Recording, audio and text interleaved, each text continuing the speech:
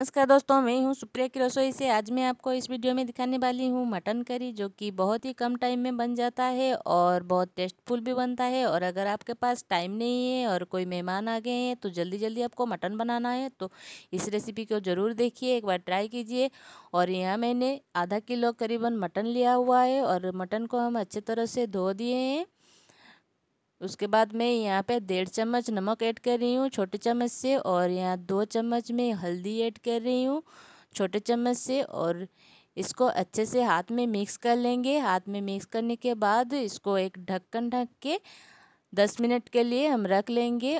मैंने यहाँ पे कुछ लहसुन की कलियाँ लिया हुआ है और तीन हरी मिर्च, दो मीडियम साइज़ के प्याज कट कर रखा हुआ है और एक इंच अदरक का टुकड़ा इसका पेस्ट बना लेंगे। जो मीट को हम हल्दी और नमक ऐड करके रखे थे, उसको प्रेशर कुकर में डाल देंगे और इसमें करीबन आधा ग्लास पानी ऐड करेंगे और उसको अच्छे से बॉयल होने के लिए हम गैस में चढ़ा लेंगे। तीन सीटी आने तक हम चढ़ाएँगे, ज़्यादा सीटी नहीं लगना चाहिए। तब तक हम और मसाला रेडी करते हैं। तो यहाँ मैंने मीडियम साइज़ के तीन प्याज बारीक कट कर रखा हुआ है थोड़ा सा मोटा साइज़ का। वहाँ, यहाँ मैं कुछ खाड़ी मसाला लिया हुआ है तो यहाँ काली मिर्च में ली हूँ और कुछ लौंग, दो इलायची, तीन दालचीनी और एक जायत्री, एक बड़ी इलायची और तीन तेज़पत्ता। अब मटन जो है हमारा तीन सीटी लग चुका है तो उसको ढक्कन हटा के देख लेंगे तो अच्छे से हमारा पक गया है। अब एक कढ़ाई लेते हैं। कढ़ाई में तेल डालेंगे, करीबन चार चम्मच ज़्यादा तेल ऐड नहीं करेंगे क्योंकि मटन में बहुत तेल होता है, इसलिए ज़्यादा तेल नहीं यूज़ करेंगे। तो मसाला के लिए जितना चाहिए उतना ही ऐड करेंगे। यहाँ पर मैंने तीन तेज पत्ता डाल दिया है और जो खाड़ी मसाला लिए हुए थे इसको भी मैंने डाल दिया।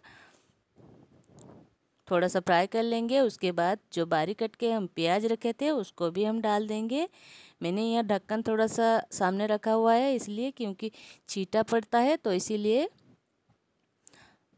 तो प्याज का हम अच्छे से चला लेंगे।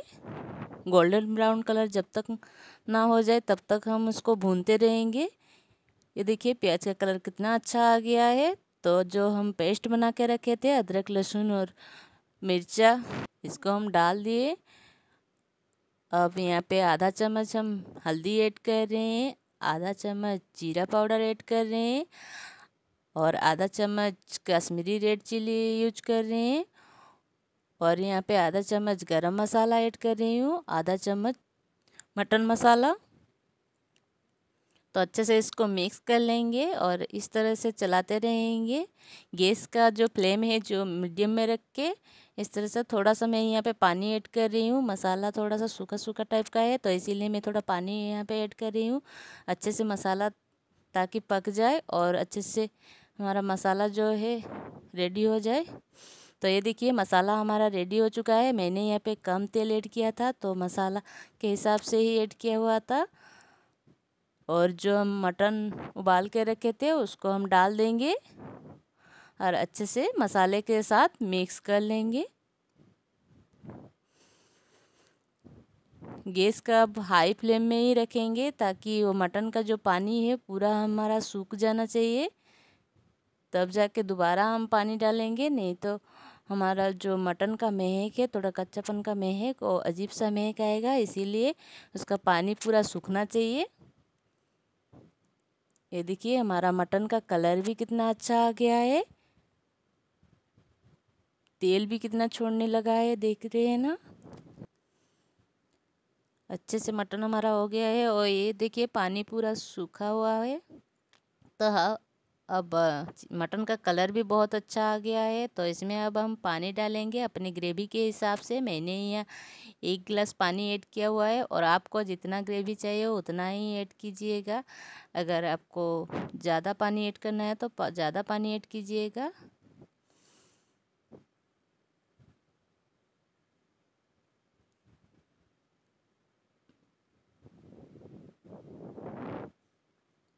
ये देखिए, हमारा जो मटन है बन के रेडी हो गया है और नमक हम अपने स्वाद के हिसाब से डाले हैं। तो पहले से मटन में हम डाले थे तो इसलिए नहीं डाले हैं। तो आप अपने हिसाब से में, हिसाब से और थोड़ा नमक भी ऐड कर सकते हैं। पानी जितना डाले हैं तो उतना अपना हिसाब से आप नमक भी ऐड कर सकते हैं।